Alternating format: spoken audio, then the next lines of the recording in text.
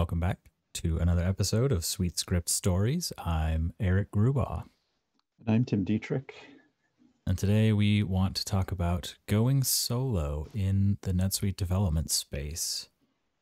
We are both solo operators.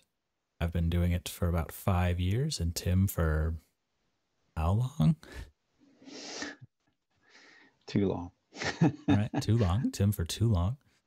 Um, really quick, a disclaimer at the top of this we are not accountants, we are not attorneys, and we are not financial advisors. So anything we say in, in those regards, uh, please take with a grain of salt and consult an actual one of those people before taking action on our our comments here. So, assuming that people are going to take action on our comments, true. we might that, scare them away. that was very presumptive of me. Yeah. Right. Um, okay, so uh, like I said, I've been doing this for you know on my own for five years. You've been doing it for much longer. So Tim, how did you? How did you go solo? Why did you go solo? What what pushed you into this wild madness of a lifestyle? Yeah, so I mean, not to be funny or anything, but yeah, I, I first went solo back in May of 2000. So it's been a long time. Um, and it has not century. been a just a constant uh, you know i've been on my own you know for that entirety for 20 years. There have been times where i've been i used the word earlier um, lured into taking a you know full-time position with some you know with different companies over the years. It's that grass is always greener kind of thing. Um, but one way or another, I'm, you know, I sort of always end up back working for myself, and um, and that's a story in and of itself, I guess. But when I first went solo, I I did it because I had come to realize that I really wasn't cut out to work in a corporate environment. I you know, I had no interest in sort of climbing the corporate ladder. And I think more importantly, I didn't want to get to a point where I had to manage people. I was kind of being pushed into that. And I think as a developer, it's easy to, you know, eventually you reach a point where you become like the lead developer or whatever, and you're kind of asked uh, almost by default to manage either other developers or a team of developers and designers, whatever, you know, depending on the the situation there. And that's just not me. Um, I don't think I'm as much of a people person as I would need to be to be effective at that. sure. um, so, you know, it was a sort of a self-realization, I guess, that I was, uh, you know, my my best bet was to try to go solo. And I, I was lucky enough to kind of grow up in an entrepreneurial family. My mom and dad had started a business when I was a freshman in college, and um, I ended up working for them and helping them automate their business and so on and so forth. So I got to see what it was like to run a business. Um, you know, in that was you know, a real education, a great education. So I, I, think I had that sort of entrepreneurial spirit uh, as a result of that. And you know, at the time that I went solo the, the first time, it was kind of at the height of the dot com era Right. It's probably more on the side. Like I kind of saw that it was going to fall apart. I, I, could, the stories I could tell you about dot coms are, again, another episode, uh, or maybe stories best told over a beer. sure. Um, but anyway, it was the height of the dot com era, and uh, the work that I was doing, which is web and database integration, which ironically is pretty much what I'm still doing, uh, but it was in really high demand at the time so I had a pretty good feeling that I could make it on my own. Uh, like I, I figured that if nothing else, I could, you know, put my tail between my legs and go back and you know get a job if I needed to. Um, so I felt pretty good about it at the time. You know, I really felt like it was the right thing to do. Um, it, it was a good time to do it. So I did it. So how about you? Like what was what were the circumstances around you going solo? Um, I have always wanted to go solo. I can remember having thoughts of running my own business uh, as far back as like late high school, uh, which is strange. I don't have any entrepreneurs in any of my like close circle of friends or my family. There are basically zero entrepreneurs. So I'm not really sure where that came from. I didn't know at the time what I wanted to do by any means, but I got to a similar point in my NetSuite career where there's definitely a, a point in a technical career where you can sort of stay where you are or switch companies or take the management track. Not a lot of companies do a great job at leveraging really senior technical resources and or giving them room to grow. So um, I saw a good opportunity. I tried the management track. I loved it mostly, almost all of it. Some parts were terrible, but I do enjoy that work, which is why work with leaders and managers with teams now. But I saw an opportunity. I saw a, or thought I saw um, a gap in the market of, of the NetSuite space where there just was not enough educational content. I would say there's still not enough educational content. And I tried to, I thought I could help. So I tried to do that. I had a good idea. I had a good uh, runway. I had a supportive partner. And so I took the opportunity and I tried it. Interesting. Yeah. So that you mentioned, um, you know, your partner uh, having the support there, and yeah, I, I didn't say anything about that. But not only did I have um, my wife's support, but ironically, or uh, funny enough, uh, we both left really cushy jobs to go solo at the same time. So she was a web designer.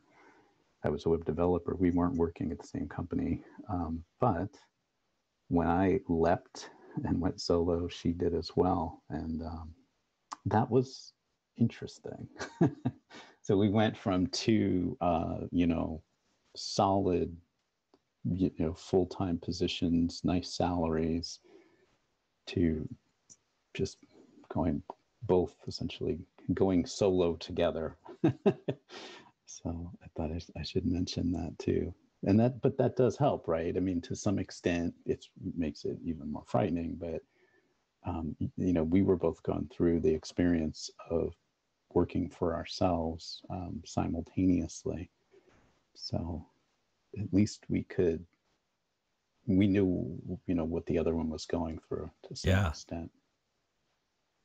So that that's was... that's something I have written down much later in my notes, but finding peers or not even really peers, but yeah, people going through something similar, finding yourself a small cohort or even one person to commiserate with on on what self-employment is like is yeah. is super critical. Right, and I would argue that that's uh, that's true when you're doing it, when you're initially going solo. Mm-hmm. But it's also important to continue to have that kind of a support group. I mean, you and I have been that, you know, to each other now for several months. Right. You know, let's and, be honest. That's basically what this show is. Yeah, it pretty much is. Um, and it's it's been very very helpful to me uh, hopefully to you too you know it's like good to be able to bounce ideas off of each other to commiserate uh, you know, to cheer each other on at times, to be a sounding board, and so on. And uh, yeah, so I think it's important not only starting out, but you know, hold on to that if you can find it, and because you're going to need that support. It's not like you only need it in the beginning. Mm-hmm. You know, I've been doing this for more than 20 years now in one fashion or another, and you know, it's you know, having somebody to talk to is very helpful you know, yeah. even now, maybe I, more so now than ever. right. I think the beginning is actually the easy part. And I'll talk about that in a little bit, but yeah, the beginning is the easy part. Uh, right. So it, it's just fear in the beginning. it gets more complicated as things go on, mm-hmm. which seems counterintuitive, but we can talk about that.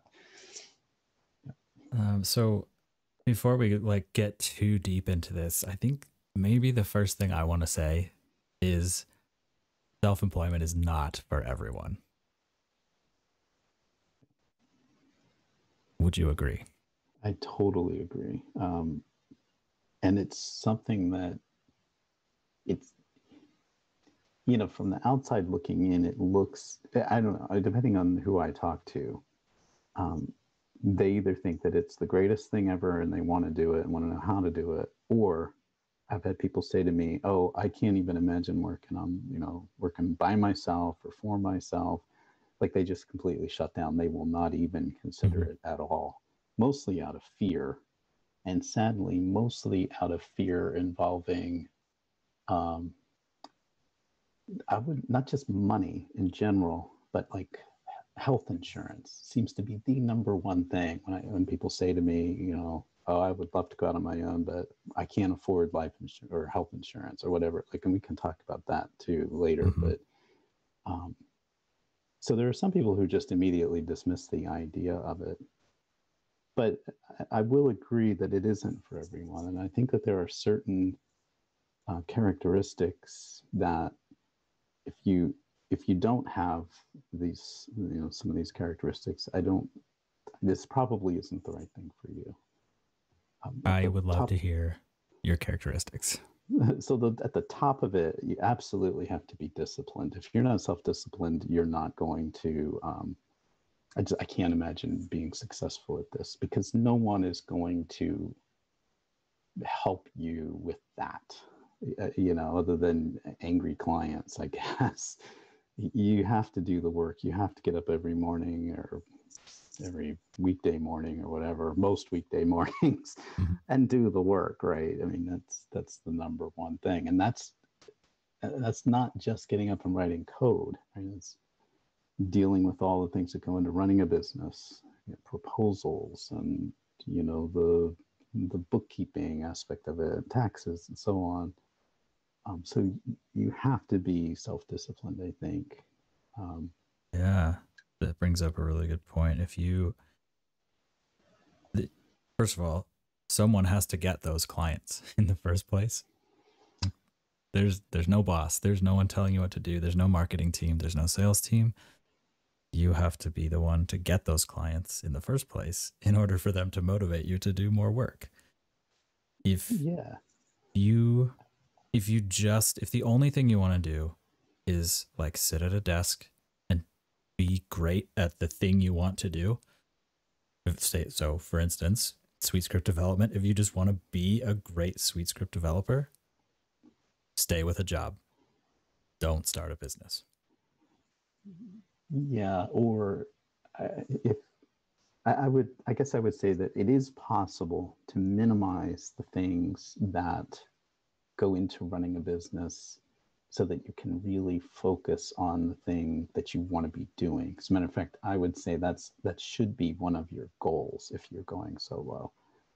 Try to find a way to reduce or eliminate, if possible, like all the the, the baggage, the craziness that comes with running your own business. Um, it's hard to do. Um, but like to your point there you know that's one of the bullet points i have here is you have to be able to wear many hats and assume many roles it's not just development you know you're the developer you're the solution architect you're the salesperson you're the bookkeeper you're the guy who takes the trash out orders lunch hopefully you know whatever. uh, it just there's there's a lot that goes into it. And that makes it interesting at times. Sometimes changing those hats is a relief, you know, switching from being the developer to hopping on a call to talk to a prospect or putting together a proposal, you know, sometimes that can be fun mm-hmm. and a nice change of pace. And other times it's just, you know, you think to yourself, man, you know, all I want to do is write code. mm-hmm. There's some days where I don't write a single line of code and it drives me nuts, you know, and uh, those are the It's every day for me. Well, yeah, but that's the difference. I have a different business. So, yeah. I would say if you you're thinking about going solo, this is especially true in the early days. If you if you want to stay solo, you can expect to spend at least a quarter, if not half of your time connecting, networking, marketing, prospecting, accounting. You can expect to spend about a quarter to half of your time running your business, not working in your business. Mm-hmm. So not writing code. And there, are, I mean, there are certainly ways to defray that. You can bring in accountants, you can bring in marketers, you can, you know, hire or contract out or partner or whatever. But then you're just trading that time uh, of, you know, say sales and marketing to managing and coordinating. Then you're still not going to be writing code with that time right. for the most part, especially early on.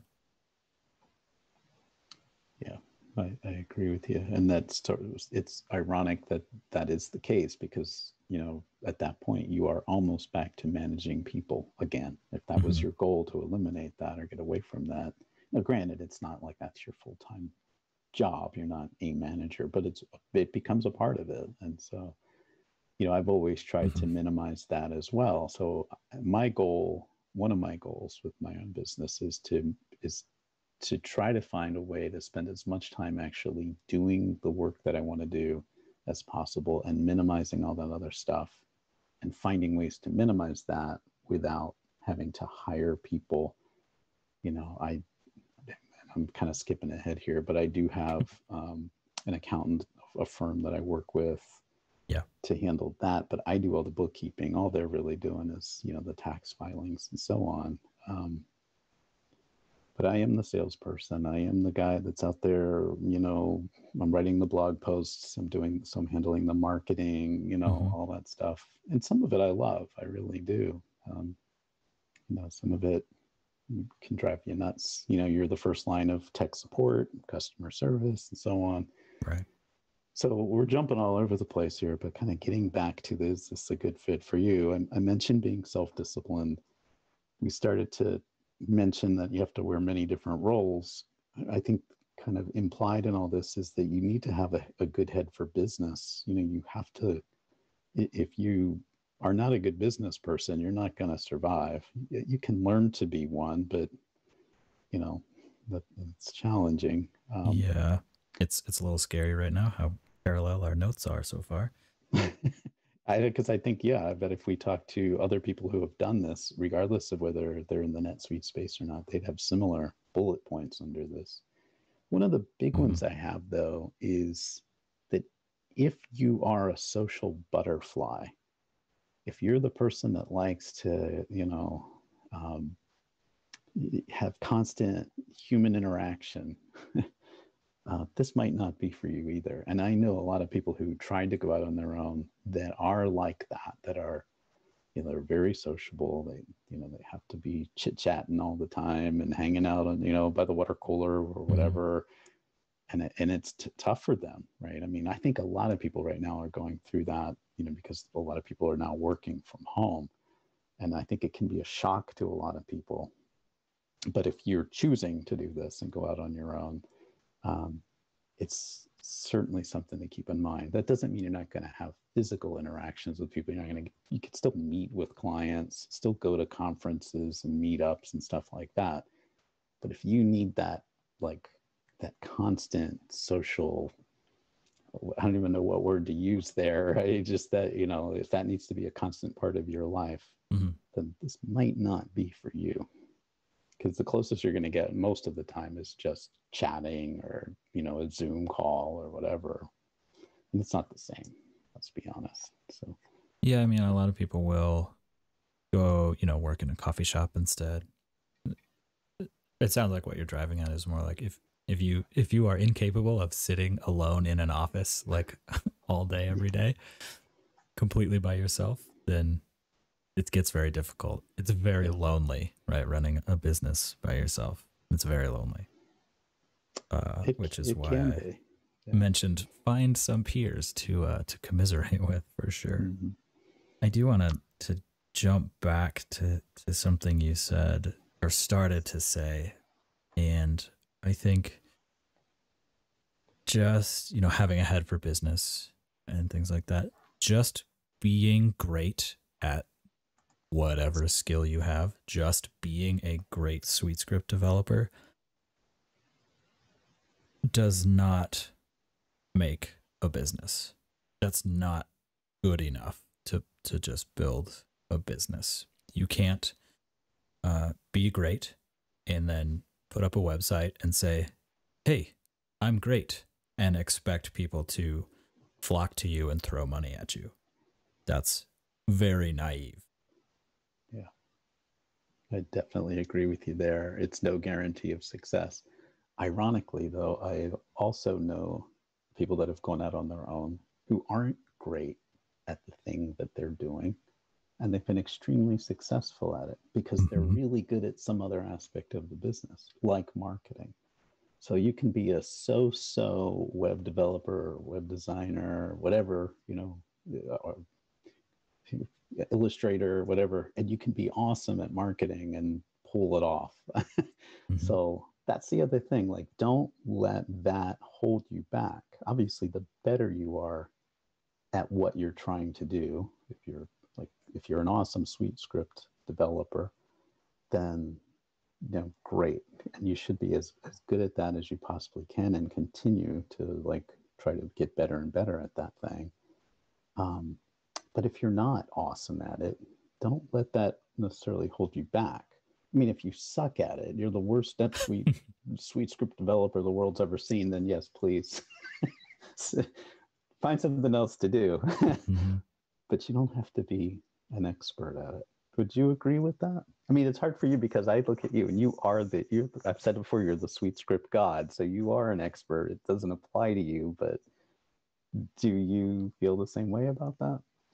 But I didn't go solo as a SuiteScript developer. True. Yeah, that's not the the skill that I was was offering to the market. That's not the that's not the problem I was trying to solve.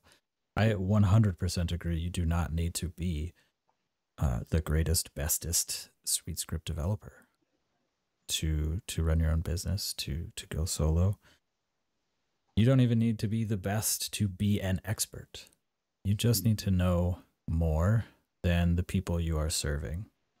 Most SuiteScript customizations aren't super highly technical, really complex processes. Many of them are, but not most of them. Yeah. And they're still very, very impactful to the, the the businesses that need them. So you can be, you know, good. You don't have to be amazing or great. You can be good and still be offer incredible value to your clients. But hmm. you have to find and build relationships with those clients. You cannot just expect to put out your shingle, have people line up. That is not how it works. Yeah, I I agree with you. Absolutely.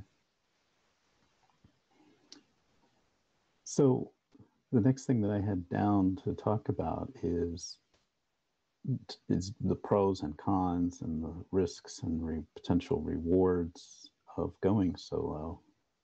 Um, do you want to talk a little about that? Sure.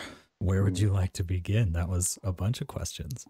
Yeah, it is a lot sort of rolled into one, and we've kind of talked about or implied some of these, I think, already. But and we could go on and on, if, you know, huge lists of pros and cons and the Mhm. potential risks and potential rewards. The the biggest pro for me in going solo and being solo is freedom.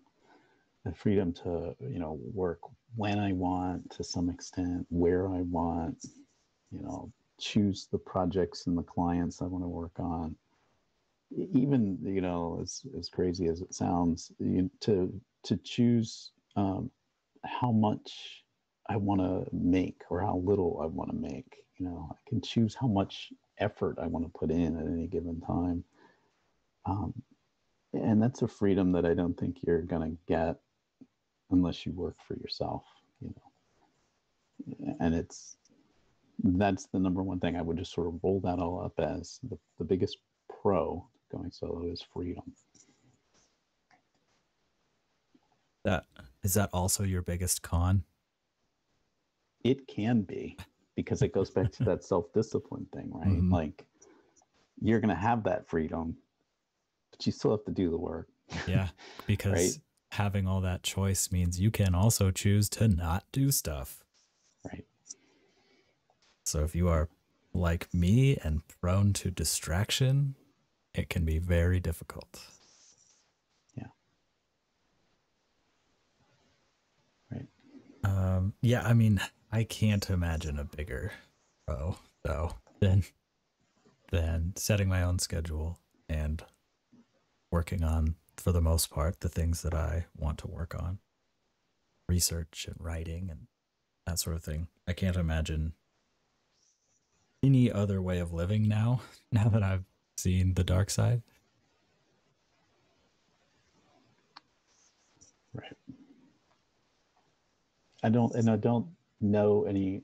I mean, there are other pros, right? Financial and so on and so forth. Um, but the biggest con for me for going solo, and I said this earlier, is that it's all on you. It's a lot of responsibility, right? Mm-hmm. I mentioned all the different hats you have to wear and roles you have to assume in, in being a solopreneur, you know, being on your own. And um, it's a lot. It's a lot of responsibility, especially if you have a family to support or, you know, whatever. It's just, that's the biggest con that I see.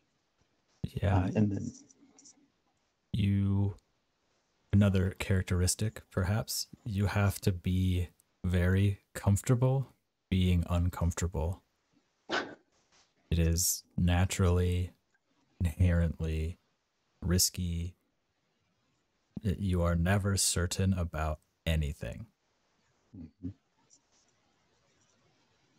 It's, yeah, that's a whole like that we could open up a can of worms there by talking about that um, but it's a funny little side story and again i'm kind of jumping ahead here but a few years ago i was working with a financial planner um, and i took one of those tests tests that helps you determine or helps them determine how how much risk you're willing to take or not and of course for me like i am risk averse like you know from a financial standpoint, like I just I avoid risk at any at, any cost, right? I do my best to avoid it. And I remember the financial planner sort of laughing and, and he said to me, you know, it's just so funny that you're like that because going out on your own, running your own business is probably one of the riskiest things you can do. And so I, you know, and I thought about that, and it's like, yeah, maybe that's why I'm risk averse on all the other financial stuff because I've, all my risk right now is just in my my solo business. You know that I, that's as much risk as I can take. I can't take any more. Um, but it's it, it is it was an interesting uh, observation that he made, and it, you know, it, I had not realized it at that point. That I, you know, here I am thinking that I you know, I'm the most risk averse person you would ever meet. And at the same time, you know, look at what I'm doing. So, and I don't know that you ever get comfortable with that, by the way. You know, I don't know anybody that is always comfortable with risk, but obviously, the more comfortable you are, the probably the better. Otherwise, you're just, you know, it is a lot of stress for sure. Yeah, if you just if you just want to be comfortable, keep a job. Just stay with a job. Yeah. So another con that I have, and this is definitely you were saying earlier how for you you're easily distracted. I guess is a good way to sum sum it up. Mm-hmm. And for me, I am a natural workaholic, and so if you're prone to that, then this can being a you know a solopreneur can be oh, it can be a very toxic combination. And we yes. you know we had our episode about burnout, um, so we don't need to bring that back up. But I think it's very easy to end up in those burnout places and phases and so on. Yeah. So yeah, again, it goes back to self-discipline and you've got to discipline yourself to get up and work. And you also have to discipline yourself to, or have the discipline to know when enough's enough. Mhm. You know, that's been my biggest challenge throughout my entire solo uh, career for sure. And to that end, you have to be able to say no. If you say yes to everyone who comes your way, will very quickly get in over your head. Yeah. Which So do you, sorry, go ahead. Well, I, it's a nice segue to something I have in my notes, which is a little bit, it's probably going to shift us away from your pros and cons. But I think one of the first things you should be thinking about is who is your business for and who is it not for. So I'm going to put a pin in that and we can come back to your, your pros and cons. I think that is a good segue, and it leads to what, something I was going to talk about next. Was almost, well, I think it's a good segue, which which, which is uh, what should you do before going solo? And one of the first things I have down is line up business. But before you can even do that, you need to do what you said, which is who are you? What kind of business are you trying to drum up? Who is Mhm. your ideal customer? What are you doing? what are you offering? Yeah, I think there's there's definitely one style of business which is more just um sort of just the lifestyle business, right? And you can absolutely make that work with SuiteScript development. You can, you know, if you this is maybe the one way that that I can think of to to sort of still just spend most of your time sitting at a desk and writing code is if you sort of just want if you're if you only want to just like well i'm good at SuiteScript so i'm going to write SuiteScript and it just needs to uh you know sustain my lifestyle then great. You know you can either one keep your job again or you can you know start a business and just be a contractor right? Find a recruiting or staffing agency or two that you consistently work with and let them feed you work. Uh, you can definitely do it that way. I would not call that building a business and that's not meant in any sort of uh, disparaging way. But you're just you're just working for the staffing agencies at that point. You're not building any sort of long-term asset or you know innovating or or solving some new problem in the marketplace and that's fine. Not everyone has to do that. So that is definitely one way to just if you just want that lifestyle business which is basically that means your business is for you. You're not building something to solve a larger problem in the market or the world. But for some people is what they want to build a business around. And if that's you then you have to sort of decide who do you want to serve who is that ideal client? What problems do you want to help them solve? And then what is your involvement? What are the various levels of your involvement in moving them towards a solution to those problems? Yeah, and I think that's, you know, we've talked, we've had episodes in the past about specialization and so on. I think that's something else to kind of bring up right here, which is if you if you have something that you want to specialize in, or maybe if, even if you don't, it's something to consider early on. You know, it may it might not make sense for you. You might not have figured that out just yet. Like, you know, what specifically do you want to offer? But the more laser focused you can get on that, the better.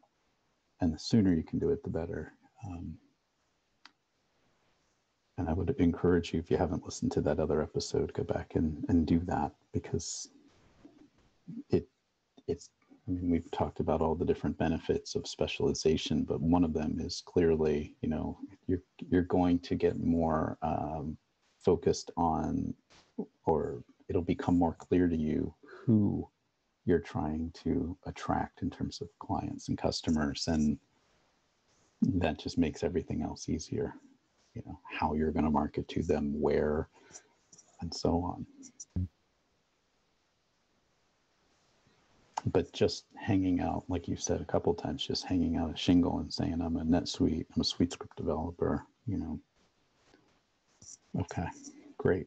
Yeah, you're probably know. going to have people knocking on your door, uh, virtual door, but it's it's not necessarily going to be as successful as it otherwise could be if you yeah. took the time to kind of do it right.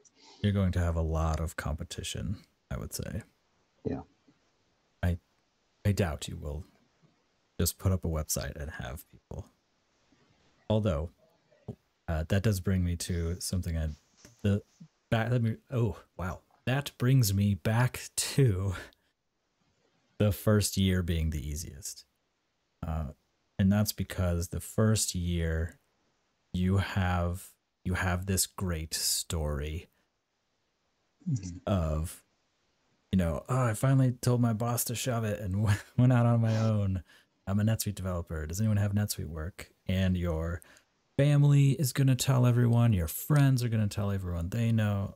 And like you, you have this like this story that comes with its own marketing engine. And that usually lasts about a year. Sometimes longer for really lucky people. But usually that first year, you can get a few clients just based on your current network, like the people in your immediate closest circle will be happy to share your story and tell everyone they know. Uh, but after that, it gets real old and they don't do it anymore. so they're bored of you being self employed now. It's no longer new. It's no longer a, a great story. It's just part of who you are now. All that goes away.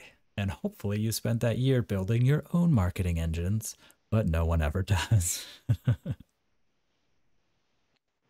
yeah, definitely. Um, it's you're almost completely reliant upon your existing network at that point. Your mm-hmm. and your network being, you know, people you've worked with in the past, family and friends. You mentioned that, and it's, but it's completely out of your control, right? It's like Yes. So you have to do something where, you know, some of the marketing that you're doing is driven by you, you know, and not just, hey, I'm, this is what I'm doing now. It, you know, and we, you know, we could talk about that too, different ways to kind of get the word out beyond just family and friends and colleagues, sure. you know. But it's important that you do that because, and you you have to constantly be doing that too. Like that's part of mm-hmm. what makes this challenging is even when things are going really well and you're booked solid or beyond solid, you should still be doing some marketing. Yeah. You know, like, right. You're bringing me very nicely to my next point of the feast famine cycle, another con of self employment. If you're not spending your time, or like I mentioned, you know, 25 to 50% of your time marketing, networking, connecting, you are going to inevitably end up in this this feast famine cycle where that whole first year you have this network underneath you supporting you, sharing your story, getting you work. And so you're booked solid and it's great. It's like easy, it's fun, it's exciting. And because you were booked solid, you weren't doing any marketing. And after a year or so, all that work dries up. And now you have no idea what to do. No one's knocking at your door. No one's, the phone's not ringing. No emails are coming in. And so you say, thus, obviously, no money's coming in. So, oh crap, now I have to do a bunch of direct outreach or I have to, you know, go find a recruiting firm or a contract or something like that. And so you do that and inevitably getting some work gets you more work like leads to more work. And then what happens again? You're fully booked you spend all that all your time working writing code and then i don't know six months later it all dries up. And you get into this constant cycle of too much to do, nothing to do, too much to do, nothing to do. And it's horribly unpredictable and stressful and terrifying. It's awful. Yeah. You, again, you have to constantly be marketing even when you don't think you need uh, business. hmm Marketing has a Eh. long tail. It does. It also has a bad name and a bad reputation. It doesn't have to be a dirty word. Right. And that's you know the I think one of the things that the assumption is that you you market because you, you need business like that's one of the goals but really I see it as it's a way to build awareness right um, and, get, and kind of get a name for yourself out there you know have people know who you are and what you do which then leads to getting business. Um, and so yeah i mean i again we could probably talk about this forever but i do think the best time to be marketing is always. Three months Right. ago. right yeah. So yeah. And, and that's a big part of like what uh, what i do and I, I know it's a big part of what you do as well. It, you know it's um we're doing that right now right? I mean even this podcast is Yeah. a way to kind of get the word out about who we are and so on and so forth. Um but yeah i would i think besides writing code uh, marketing in its various forms is probably the you know the second biggest uh, use of my time.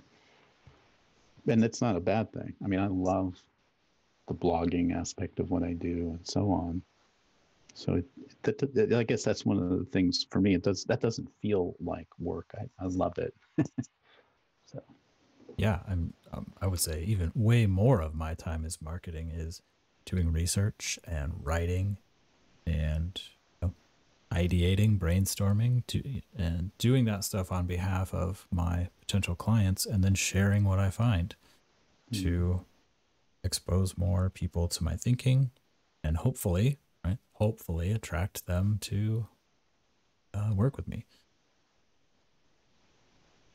right there are other ways to, to do marketing. There are other tactics, other methodologies to go about it. More like direct outreach type of stuff. This is not a marketing episode though, so we will not get into that stuff.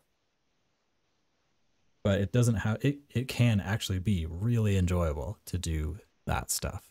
You might find that you enjoy it even more than writing code, perhaps.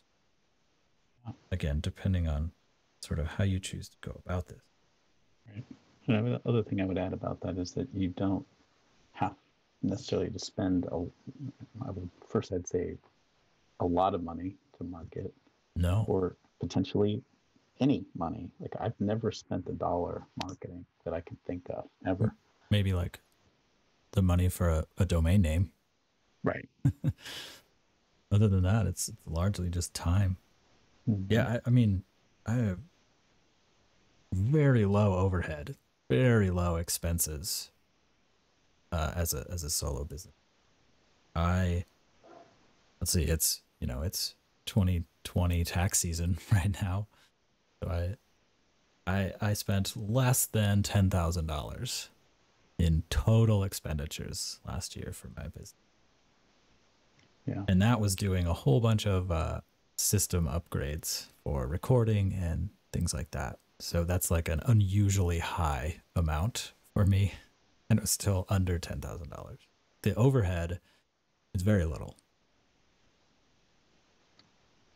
Yeah, and that's, I mean, I don't think we've said anything about that uh, up to this point, but, you know, this isn't the kind of business that you need a lot of money to start. I, No. I would argue that you probably do want to have a nice cushion, you know, kind of a, runway, so to speak, um, you know, to kind of get you off the ground financially with this, but you don't have to pour tons of money into the business in order to get going Mm. there are things you're going to need, and we'll talk about that in a minute, that could be expensive if you choose to go in those directions. But, um, I mean, think about it. What do you really need? You probably have most of it already. You Mhm. probably, if you're listening to this podcast and you're doing it on your notebook or whatever, um, you're probably ready to go right now, you know, for the most part. Um, so you, yeah, and that's one of the benefits of doing this. Right? It's not like you're buying into a franchise or you're, you know, you need to buy some huge piece of equipment. So that cost me 50 bucks to start my LLC and I already had a computer and an internet connection. So I was pretty much ready to go. you don't even need the internet connection, just go to Starbucks or whatever. Yeah. Pre-COVID, like it was, least. Yeah, there was a time where that was actually reasonable. I don't know whether it's right or not, but it's another thing. Yeah. So the other thing, one thing I do want to tie up on talking about, you know, who do you want to serve and, and using your using is a little bit loaded, but you know, leaning on your network. If your network now is mostly your peers, like other SuiteScript developers, they're probably not your clients. it's going to be really hard to get NetSuite development work through them. So you should be thinking now about expanding that. Uh, and again, thinking about who you want to serve and starting to look for those people and connect with them or figuring out where they hang out uh, like online not in the physical world online yeah. you know if there's a, a subreddit or a slack community or or something like that and and just sort of uh, be a wallflower in those communities and start to observe and listen and pay attention to what they see as problems and try to find an intersection between their problems and your ability to participate in the solutions to those problems. Yeah, that's a very good point. It goes kind of goes back to something I was going to talk about, which is what things should you do before going solo? And I uh-huh. think you know you hit on it right there. Like build a network before you go solo. Build the network before you need it because you're going to need it almost right away. Um, try to line up some business ahead of time if you can, uh, and and try to validate what it is that you think you're going to offer to your customers. You know, like you might have what you think is the greatest idea in the world, but sure would be nice to talk to some people who may or may not need it to see what they think before you just go out on your own and you know take a wild stab at it. Mm-hmm. Another thing that I recommend, and I've done this a couple times, is take is see if you can get your current employer to potentially be a client, and um, you might be mm-hmm. surprised mm-hmm. at how willing they are to do that, or or not, and it might surprise you just as much. But uh, you know they they know what you can do, and you you know what to expect, and so on. It, so that that's something to consider. You know, if you're going so well. Yeah, if you have a really good relationship and a good, if you have good leadership and a good relationship with your current employer, you can absolutely do that or something like that. Like they, I I told my employer, I think 15 months. It ended up being like 15 months in advance. I uh, I told them a year ahead of time. You know, hey, I'm planning on going out on my own on this date. Um, and so I, I trusted them. We had a great relationship, still do actually, and so they were extremely supportive in helping me do that. They've been a client a few times now. They've referred other work to me. So if you have that sort of relationship, that's a great place to start. Yeah. And You'll know if you don't have that sort of relationship too. Maybe you don't, and that's why you you're thinking about going solo. Yeah. But that is absolutely one place to to start. Mm-hmm. So another thing I had down was to talk about when you do decide to go solo. Mm-hmm. There are a couple different ways you can do it. Um, you can just make one big leap, go from you know, working full time to, okay, now I'm on my own. Mm-hmm. And there are ways to do it gradually and kind of dovetails with what you were just saying, you know, about the relationship you have with your current employer. It may right. be possible to sort of, you know, wean yourself from them and have them wean themselves off you by just sort of taking baby steps towards, you know, this uh, you know, having a solo business. Mm-hmm. Yeah, I've always taken the big leap. You know, was like, okay, I'm doing it. yeah, and I, I couldn't too. wait. Yeah, it's like, and it gets like, it drives you nuts. Even the delay. Like, I don't know about you, but when I made this the decision to go out on my own, it was like, okay, I want to wake up tomorrow and be on my own. All right, it's not realistic to do that, but um, it's tempting. Mm-hmm. Uh, but it's something to think about you know like there may be a way to kind of get your solo business going uh, you know as sort of a side hustle depending on you know what you're doing and so forth you've got to be careful with that but right it's something to think about um, uh, be careful if you signed a non-compete in doing that right um, but yeah i there you can you know maybe your employer will sort of slowly ramp you down to, you know, move you to a contractor role, then slowly ramp your time down or, or something like that. Maybe not. Maybe you don't have that. Certainly, there's groundwork you can lay. You can find a name, you can incorporate an LLC or or not. Or you can don't get a website sort of up and running. You can start thinking about sort of the messaging, start again connecting with and researching the market you want to serve, the types of people you want to serve. Yeah. And that can be when you're a solo operator, you can get really, really specific with the people you serve and the types of problems you solve. You don't need 25,000 leads coming in. You can maybe serve 10 clients a year without you know overworking yourself. So you don't need this massive uh, market. You can be you can get very narrow and very specific and then just dominate that tiny tiny little micro niche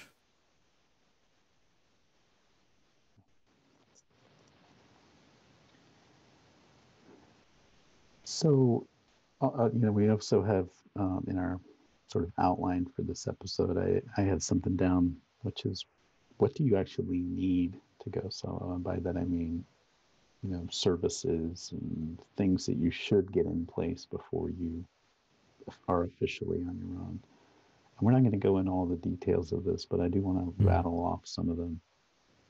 You you should probably have a system in place to manage the accounting and bookkeeping aspect of your business you know, whether that's QuickBooks or I use FreshBooks, or maybe you're using NetSuite. I mean, wow, go for it. Mm-hmm. um, but you're going to want a way, obviously, to keep track of, you know, your time potentially, uh, definitely your expenses, customer invoices, and so on.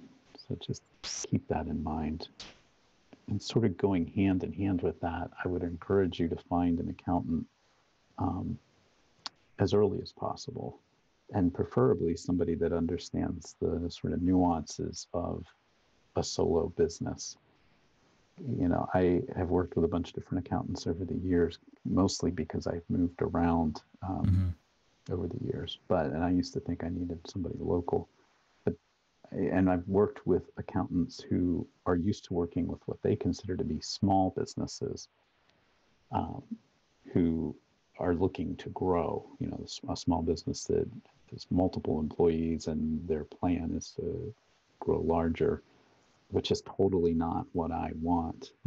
and that kind of blows a lot of accountants' minds. You know, like, well, why wouldn't you want to hire more people? You know, why right. wouldn't you? It's so if you can find somebody that understands, again, this the solo business, um, the nuances of it, I think the better off you're going to be and I think they'll be able to give you good advice um, as a result of them understanding what you're doing. So, Eric, do you have an accountant that that you use, and do you feel the same way about that? I don't. I don't have an accountant. Um, I do have a lawyer. I do have insurance. Um, which a lot of so like insurance, for instance, a lot of um, contracts, a lot of employers, a lot of staffing agencies, etc., will require that you have insurance if you are, Mhm. you know, incorporated on your own, especially. So, uh, I do not have an accountant. I I do use QuickBooks online or QuickBooks Self-Employed, I think. Um, I find the bookkeeping to be pretty straightforward, pretty simple. I my, uh, it helps that my dad was a CPA and I had to do a ton of accounting work in the past on in my NetSuite career. I've worked on a ton of accounting and uh, acc- you know accounting projects. So Mhm. I just do it myself. I find it takes very little time except at tax time. Tax time is a pain in the butt. For sure. I am actually considering after the last couple years, I am definitely considering um, uh, adding an accountant, finding one that can help, especially with the way that taxes are shifting for online uh, purchases, state taxes and EU taxes, you know, VAT, things like that. So that complicates it, but still, I, I still do my own for now. Yeah. So you brought up some other things, and then too, you mentioned having a lawyer. I think that's, you know, if you can find somebody to, even if it's just knowing that you have somebody that, if you're going to need them, they're there. hmm Uh, but you should talk to somebody, you know. at the very least, like- referrals. Ask around, you know, like try Yeah. to meet some. Um, even if that means you know spending a hundred hour, a hundred dollars or so. Yeah. And you're going to need potentially some legal forms, you know, like uh, I have three documents I use for almost all clients um, a master service agreement, um, scope of work, and an NDA. And, you know, having an account or a lawyer rather look at those um, is potentially a good idea. Again, like we're not lawyers or anything. So, you know, take our advice as just that. You know, it's not professional advice, but I would definitely have a lawyer look at those documents if you have them. And if you don't have them, consider getting them or researching uh, how to get those documents. Um, and then obviously, uh, the other things you're going to need, we kind of mentioned it before, and it's not really very much, but you're going to need some hardware. You need a computer, obviously, and some software and Mhm. website, preferably, or at the very least, a LinkedIn profile. uh, but you need a you need an online presence, and uh, so this is things to consider. You know, getting set up sooner than later. You Yeah. also mentioned insurance, and yeah, that's, I have that down, and also um, something else to think about. Maybe not right off the bat, but is you know, it's one thing to be working for somebody else, and maybe they have some kind of a retirement plan that they're offering or whatever, 401k Right. or whatever, but you should think about trying to continue that on your own by all means. And um, I have a SEP, which is kind of a self-employment version of a 401k. Right. But we we mentioned earlier, you know, that we're not financial planners, but you should talk to one, you know, and try to find somebody, you know, that people recommend in your area and just talk to them. You know, maybe they can give you some practical, affordable ways to just, you know, continue to make uh, or to, to do retirement planning. And if you are cringing at the talk of lawyers and accountants and insurance and financial planning, stay with your job. yeah, it doesn't go away. So the last sort of scary thing that I'll talk about, and again, you know, our disclaimer at the beginning of this episode still applies here, but you need to think about how, like, the form of business that you're starting. And by that I mean, is it a, a corporation? Is it an LLC? Are you just going to go as a solo uh, proprietor? If you don't know what those things are, don't worry about it, but research them. Mhm. My only advice in that area, and again, it's I'm not a lawyer, not an accountant, but if you can do it as a solo proprietor, do it. um, I'll just leave it at that. Are Mhm. you incorporated or a solo proprietor? You're I- incorporated, right? I'm incorporated. I'm an LLC partnership. Okay. My wife is a partner in the business, albeit a silent one. Um, Okay. I have put up as many um, separations, as many walls between business and personal finance as I can, as I am very risk averse in my my personal assets. I do not want any, uh, you know, anything that goes wrong with the business. I do not want that to be able to, or I want to put up as many barriers as possible to that passing through to my personal assets. The United States is a very litigious place. So I try to defend against that as best I can with things like insurance and having an actual incorporated business that has totally separate bank accounts and um, just as many walls as I can. I don't even take like the tax credits or or tax I forget. I don't take the tax bonuses for working from home. You know, I don't deduct any portion of my rent or my, my mortgage rather or my utilities or anything like that. I don't take any of that stuff because again, I just want to leave as many barriers as possible between the business and the personal. You don't have to do that stuff. Again, that's all. It's all about building your own risk profile. That's Yeah. that's mine. Yep.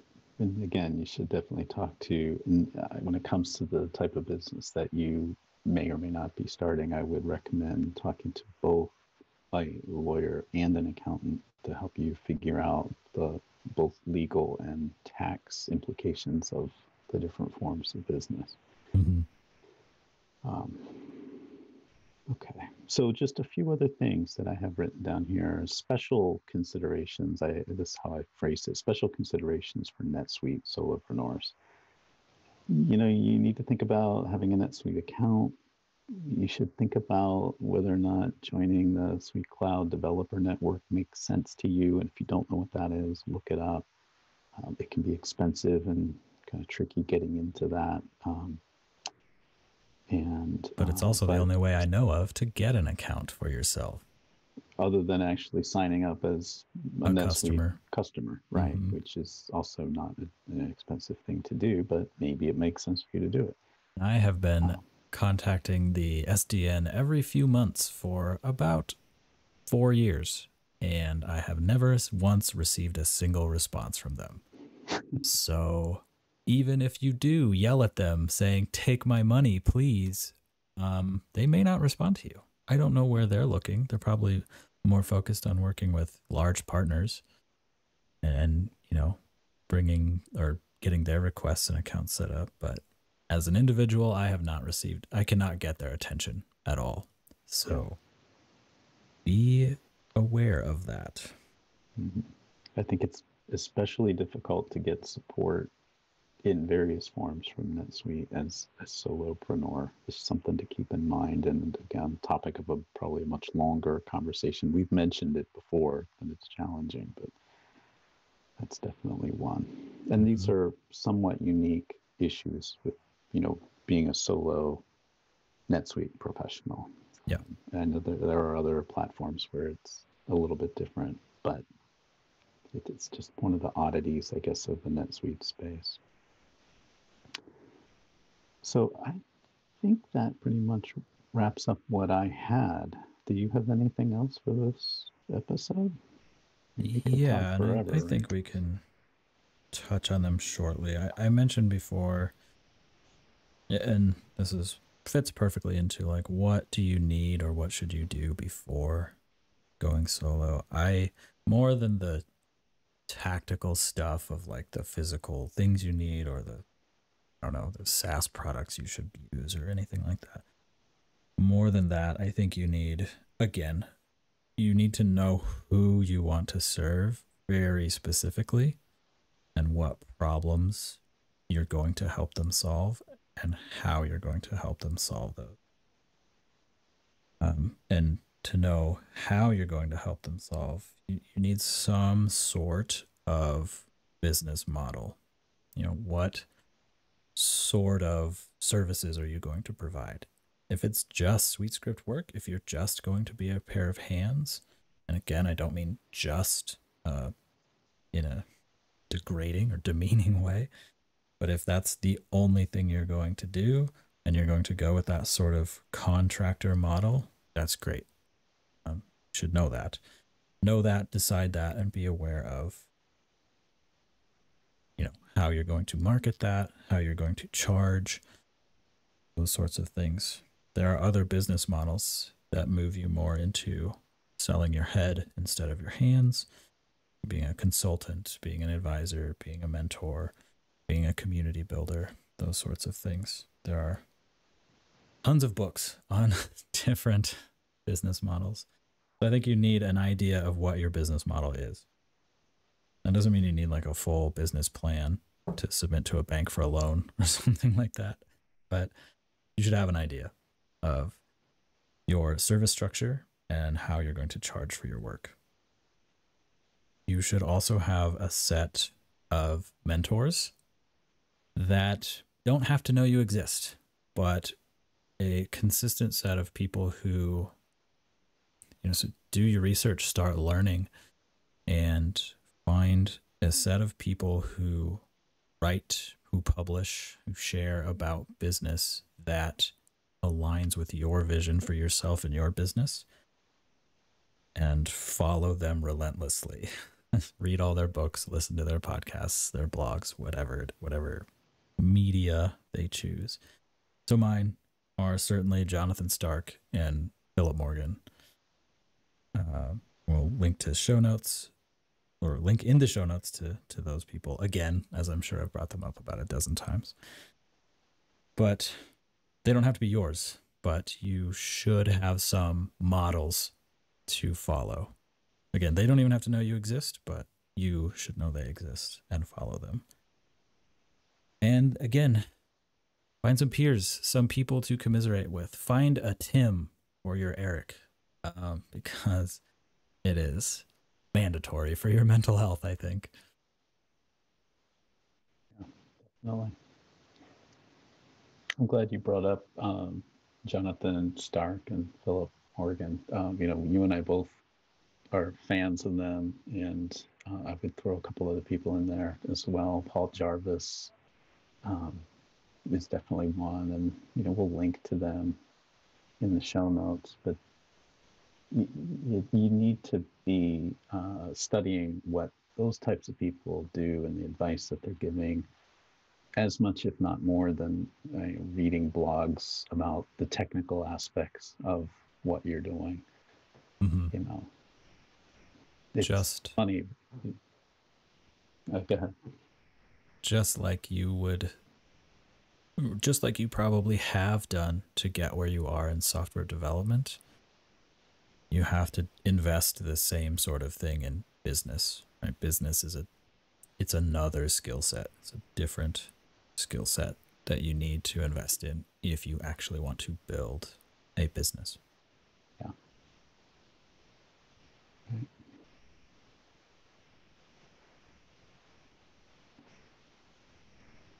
All right. So should we wrap this up? It sounds like I think we have exhausted my notes.